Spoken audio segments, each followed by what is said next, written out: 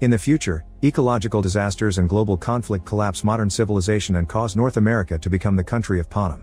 It consists of a federal district called the Capitol, where the fancy people live, and 13 outlying districts, which are expected to provide economic and material services. The capital behaves cruelly toward the districts, so one day a civil war known as the First Rebellion led by District 13 breaks out. After three years of conflict, the rebellion unfortunately collapses with the destruction of District 13, followed by a time known as the Dark Days. During these days, two upper class kids are running through the deserted streets as they try to find something to eat. Suddenly they're found by a wild dog, so the boy throws something at it to distract it while they run away. They hide behind a statue and watch how a man starts cutting up a body so he can eat the meat. Afterward, the kids return home to their grandmother, who is bad news the boy's father has been killed by rebels in District 12. Three years later, the dark days are over when the Capitol creates the Treaty of Treason to ensure peace. Part of the treaty includes annually celebrating the Hunger Games, a brutal competition during which two teens from each district must kill each other. This is to remind the districts that the dark days can't be repeated. Ten years after the treaty is created, the boy Coriolanus lives with his grandmother and the other kid, who is his cousin Tigris. Unfortunately the family status has fallen into decline after losing their factory during the war and now they live in poverty, but they try to keep appearances not to be kicked out of the Capitol. Coriolanus has been studying hard at the academy in hopes of winning a scholarship for the university, which would save him from having to get a menial job. When the 10th Hunger Games are about to start, Coriolanus joins the mentor program, which means assisting one of the tributes from the districts. Head game maker Gaul arrives to introduce Dean Casca, the man who created the games and is a serious addict. Since viewership on the games has been going down, Casca wants the mentors to focus on having their tributes entertain the audience rather than win. Now the scholarship prize won't be decided by best grades anymore, it'll be given to the best mentor. Then they watch the reaping ceremony on big screens, showing how a girl and a boy are chosen from each district. As each chosen face appears, Casca assigns them to a student, and Coriolanus is upset to hear he'll get the girl from District 12. It's known that the lower districts are the poorest, so they usually die quickly in the games. The chosen girl happens to be Lucy, who is making her way to the stage and pauses to put a snake down the blouse of Mayfair for making fun of her. When she reaches the stage, the mayor hits her for harming his daughter and the guards known as peacekeepers have to take him away. The public begins singing a song to support Lucy, so she stands up and sings along as a fact of defiance.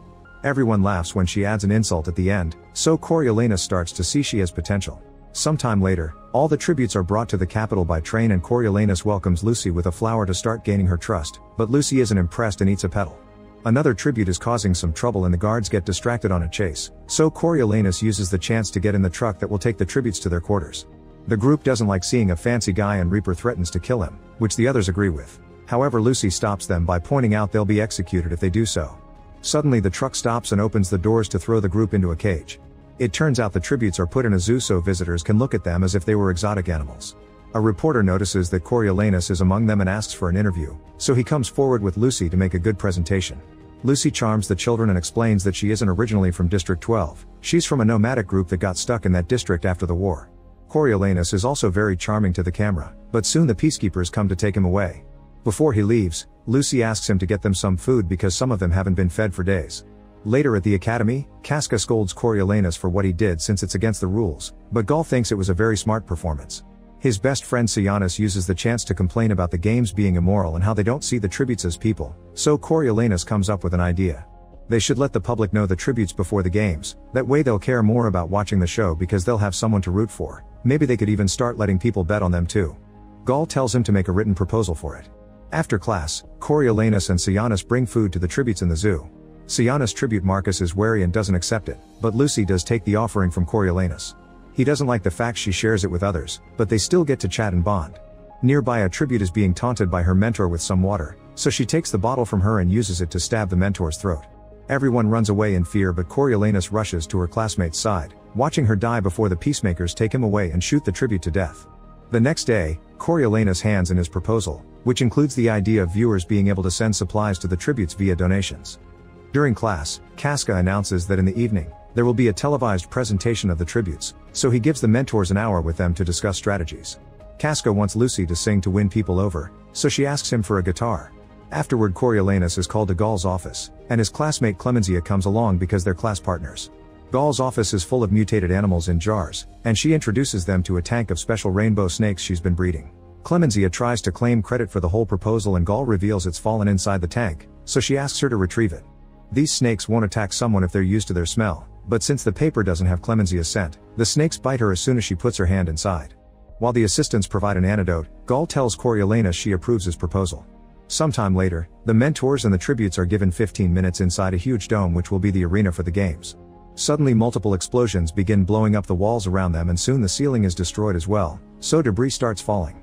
Many people get killed while some tributes try to use the chance to escape, but Coriolanus gets trapped under the debris.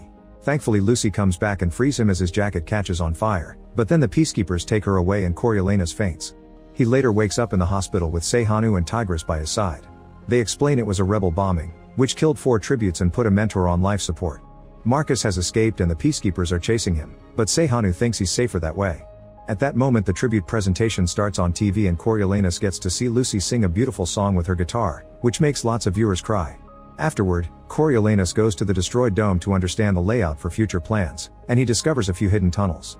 When he returns home, he sees a dead rat in the house and realizes the poison they use is pretty strong, so he takes some of it and hides it in his dead mother's compact mirror. Then he goes to the zoo and tells Lucy about all the potential hiding places in the dome and gives her the mirror.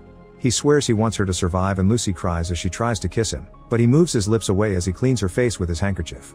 The next day the remaining tributes are taken to the arena while the mentors gather at the academy with Casca and the show host, who has an envelope with his prediction of the winner. As the peacekeepers push the tributes to their starting spots, they discover Marcus has been caught and is now hanging on the dome as a warning. This causes Sejanus to snap, and he calls everyone monsters before leaving the academy. After a countdown, the games finally begin, and the tributes run all over the place. Some of them try to stay safe, but others immediately start attacking each other. While one of his classmates pukes at the sight of so much violence, Coriolanus wishes Lucy would run and hide, but she stays to find Jessup, her fellow District 12 tribute. As players die one by one, their mentors leave the academy in a huff. Lucy does her best to dodge all the incoming attacks and when she sees Jessup she tries to run to him, but she keeps getting her way blocked by attackers. Thankfully she dodges those two and she reaches Jessup, who is looking rather sick because he was beaten by a bat on their way to the Capitol. Lucy immediately takes him into one of the tunnels, where there are cameras too. Soon more tributes come down to chase after them, so the duo sneaks through a hole in a locked door. A tribute reaches inside to grab Jessup's leg, but at that moment, more tributes show up in the corridor and kill the ones already there, including the one in the hole. Then the attackers consider getting into the hole too, but they're worried Lucy may kill them so they go back to the main area. For a few hours nothing happens as the tributes hide to make a plan, and some people in the academy are even falling asleep while the host starts telling the weather. Suddenly Lamina comes out to check on Marcus, who is still alive and asks for mercy. Using an axe, Lamina kills him, which earns her some donations. Her mentor sends her a bottle of water, but the drone crashes and the bottle breaks in front of her. That night, vultures come down to feed on the bodies in the arena. While Coriolanus watches the screens, Casca comes to tell him he'll do anything to prevent him from winning, so he better act fast. In the tunnel, Lucy finds some running water and tries to give it to Jessup, but he doesn't trust it and turns it down. A few hours later, Coriolanus is suddenly awoken by Gaul, who wants him to do something about Sejanus. It turns out he sneaked into the arena to mourn Marcus following the traditions of his district. Gaul refuses to send peacekeepers because it had just proved the rebels right and promises that if Coriolanus does this favor for her, she'll get him the prize. Coriolanus immediately goes into the arena and after dodging a few bodies, he reaches Marcus. He explains that Gaul has cut the feed so nobody is seeing Sejanus gesture, and if someone kills him here Gaul will just tell the public that Sejanus died from an illness. Before Sejanus can decide, a tribute shows up and starts chasing them. The boys run away but when Sejanus trips, the tribute catches up to them. Coriolanus defends himself using some debris and ends up killing the guy. Suddenly more tributes appear behind them, but this time the duo manages to reach the gate just in time. Sejanus' parents come to pick him up, and now Coriolanus is on their good side. Afterward Coriolanus goes home and tells Tigris that he had to kill a person, admitting that at first he felt awful but then he felt powerful. The next morning Coriolanus returns to the academy with Tigris as his guest. The host tells everyone that another tribute died while everyone was asleep, but he doesn't share who did it, letting the audience believe it was part of the games. Now only 10 tributes remain. Meanwhile Jessup goes delirious from the bat bite and tries to attack Lucy, who has to run away from him. The chase leads them out of the tunnel and as they begin climbing some debris, the cameras show Jessup's face, which makes Coriolanus realize he has rabies. He asks Jessup's mentor to send him some water, so a drone quickly drops the bottle on him. The glass breaks and startles Jessup, who falls off and instantly dies. Lucy rushes to his side to say goodbye, so the other tributes come out to try to attack her. Thinking fast, Coriolanus sends more water drones to cause a huge mess that keeps the attackers distracted while Lucy escapes with a bottle of her own. Next the group of tributes goes after Lamina, who has been staying safe on top of Marcus Pillar. A fight ensues and even though Lamina tries to defend herself, soon she's killed too. While everyone is distracted by that fight, Lucy sneaks rat poison in her water bottle, then she leaves it for the group while emptying the ones they saved. After Lamina's body falls to the ground, Lucy runs away, hiding in the vents and closing the grate right before the others can reach her. Afterward the group argues over the water bottle and a guy gets killed in the process, so seven tributes remain. Then the group goes looking for another victim, so the one that ends up grabbing the bottle is a small innocent girl, who dies as soon as she takes a sip. Her friend Reaper comes out and screams in grief when he sees her while Lucy cries as she feels guilty. Suddenly Reaper begins gathering all the bodies and places the Capitol flag over them before turning to the camera, ready with a message in favor of rebelling. Unfortunately the transmission is suddenly interrupted by Gaul, who has an important announcement. The mentor who was sent to the hospital by the rebel bombs has died. That kid had been the president's son and his death is a political act, so Gaul will punish the districts by killing all the remaining tributes even if means the games won't have a winner. Because Gaul mentions she'll send a rainbow of destruction, Coriolanus guesses she meant her snakes and gets an idea. While the guards are taking the snake tank out of Gaul's office, he sneaks behind it and throws the handkerchief with Lucy's scent inside. In the arena, a tribute finds Lucy in the vent and starts poking a spear through the holes in the grate.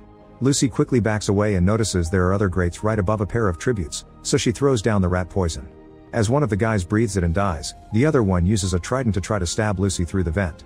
She dodges all the hits, but eventually the vent takes too much damage and breaks, causing Lucy to fall. At that moment Gaul's tank arrives and breaks open, releasing thousands of snakes that immediately cover a young girl. Then they start chasing the tributes, killing them one by one. Reaper stays on his knees and accepts his fate while a girl tries to use her last moments to kill Lucy, but the snakes kill her too. Soon they start surrounding her without attacking, and since Lucy starts to sing to them, Coriolanus tells Gaul that the song is calming the animals down and Lucy deserves to be declared the winner. At first Gaul refuses, but soon all the other mentors begin chanting for her victory, so Gaul has no choice but to announce Lucy as the winner. The host tears his envelope, claiming he had voted for Lucy. Moments later Coriolanus is taken to see Casca, who has found the mirror and the handkerchief. This goes against the rules, so Casca announces that Coriolanus' family won't see any prize money and he'll have to work as a peacekeeper in the districts for 20 years. After Coriolanus gets all the proper testing and his head shaved, he's informed he'll be sent to District 8, but he bribes the organizer to be sent to 12 instead. During the train trip, he's shocked to be joined by Sejanus, who has volunteered to do this as his punishment so he can start making a real difference. When they make it to District 12, the boys are put through a strict training regime by the peacekeepers.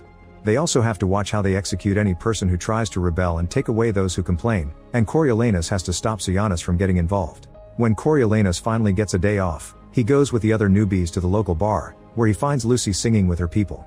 The show is interrupted when Lucy's ex Billy appears drunk among the crowd. Apparently he cheated on her with Mayfair, that's why Lucy had done the snake prank. When the crowd tries to stop him, punches are thrown and a fight ensues. Billy gets on the stage to try to reach Lucy, so Coriolanus jumps on him to beat him up. Sejanus immediately drags him out of the bar before they could get in trouble. The next day, Coriolanus finds Lucy alone near the woods and they finally kiss. They'll have to keep their relationship hidden, so Lucy tells him about a secret lake where they can meet. From then on, the couple begins spending lots of time together by the lake, bonding and having fun. Coriolanus confesses he wants to go back to the Capitol one day, but Lucy disagrees, saying they could build a life here. Sometime later, Coriolanus is informed that his test results were exceptional because he's one of the few who can read. Since he's also the son of an important general, he'll be transferred to District 2, where he'll get better pay. Coriolanus can't complain without looking suspicious, and later when he calls home, Tigris tells him they've been evicted because they couldn't pay rent. Coriolanus promises he'll help them after he gets transferred to District 2. On his way to work, Coriolanus sees Sejanus speaking to some of the rebels, so when they're alone during bird training, he calls him out on it. Sejanus gets angry and explains he's trying to make a difference by helping some people escape from Panem. At that moment Coriolanus remembers the birds they're handling were mutated and can record conversations, so he secretly presses a button to record everything Sejanus is saying. Afterward that bird is sent with the others to Gaul's office. One night at the bar, Coriolanus finds Sejanus with the rebels, which includes Mayfair and Billy. The rebels have lots of weapons that Sejanus didn't know about, and he feels betrayed. The situation is tense and it only gets worse when Lucy joins them, causing Mayfair to get jealous because Billy immediately defends her. Mayfair threatens to tell her father everything, so Coriolanus takes a weapon and shoots her dead. A furious Billy tries to attack Coriolanus for revenge, but another rebel shoots him down. Lucy is having a breakdown, so Coriolanus tells her to go to the stage and keep on singing to keep people distracted.